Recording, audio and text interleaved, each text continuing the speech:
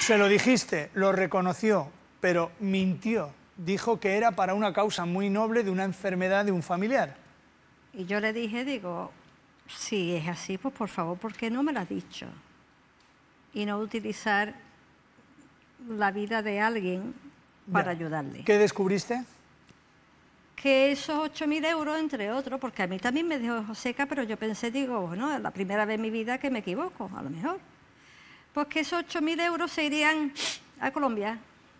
Bueno, no sabemos qué quiere decir con este tipo de gesto. La gente está... No hay aire acondicionado hoy para no sobrecargar los verdad. circuitos. Y... Que tengo rinitis. No, sí, estoy intentando salvarte el pellejo, pero sigue, sigue, insiste. Bien, tenía ciertas